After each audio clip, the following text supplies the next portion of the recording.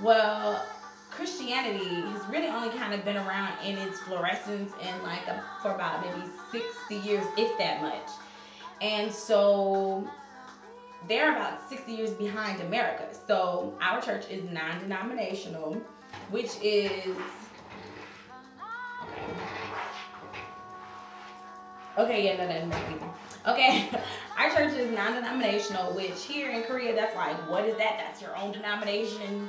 So my church has been called a cult and a heresy, which it is clearly not.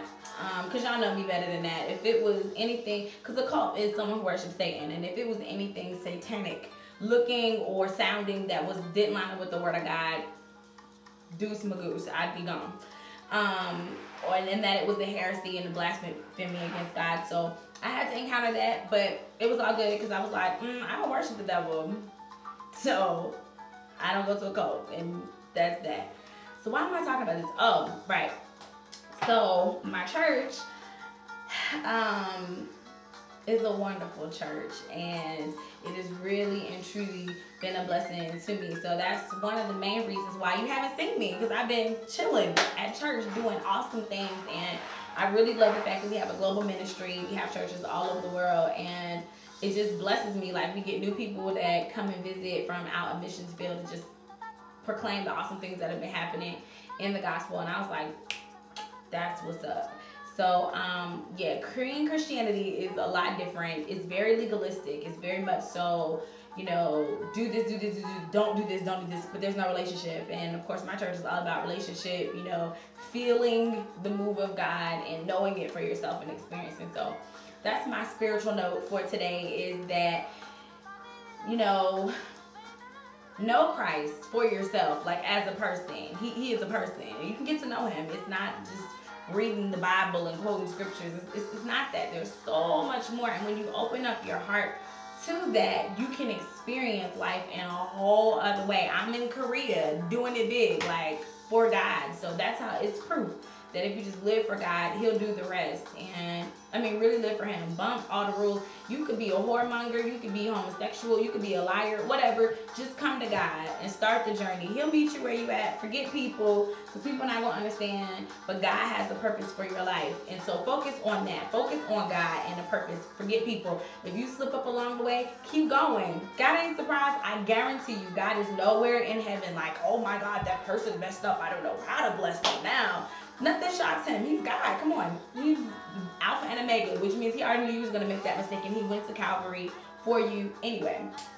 So, um, I have some wonderful Korean friends who are the bomb. Shout outs to them. Love you much. And um, I think I've hit everything. The kids still are in school all day, every day. Crazy. I can't wait till I open my school here. 2011, whoop whoop. Can't wait till I open my international school um, so that I can show them balance. Um, balance. Emida, Emida, Emika. That's the polite ending to their sentences, and they always put that in. So, um, I think that's everything. I think I've covered everything.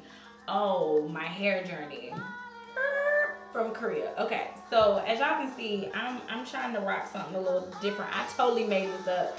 I was actually trying to do, I was trying to do this lock tutorial um, before church and I was like, oh, I gotta go. So I kind of made this up along the way. So I hope it doesn't look too bad, but um, yeah, I am in, I can do my own hair. I'm just lazy. I really, when it comes to my hair, I'm not lazy. I like it to be done. And that's how I spoil myself is having my hair done by someone else and just looking fresh and twisted and it hasn't been that way in a long time so I mean I kind of touch it up a little bit when I can but um um it's cool because people still want to touch it so I'm dying it so yeah I, am not gonna do a tutorial about it but I'll show you the color I think I'm gonna do black at the bottom and then like maybe a tinge red up top that's gonna be real cute mm -hmm. So that's what's been going on with me. Next time you see me, I'm going to have the one, the only, the most fabulous singer in the world, um, Ezra White will be with me and we're going to interview. He's actually from South Africa. He has black tendencies though, but he's not black. Um, and I'm gonna interview him about his experiences and how people assume that he's other races and how they treat him based on that.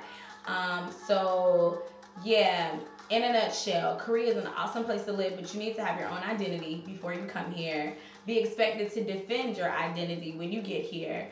Um, and understand that as a culture on the outside, they have advanced whoosh, like wildfire, but underneath mentally, they're still back there. It's still a very homogeneous society. Like you, everybody looks the same, the exact same. And I don't mean the same like, oh, I can't tell you apart. I mean the same as in the same color, the same style of dress, the same.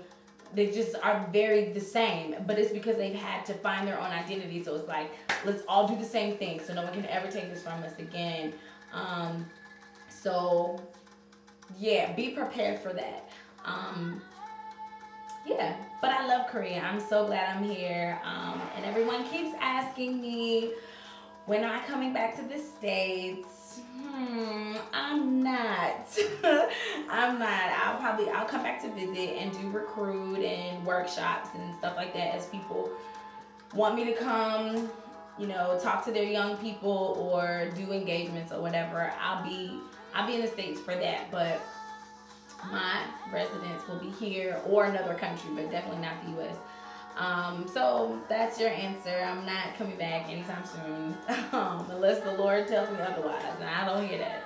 So um, I will be here for a long time, a long time. Do I look like my name could be Bonquasia? Mm, I'm just, I'm messing. Um, thank you for everyone who subscribed. I have a lot of followers. Crazy.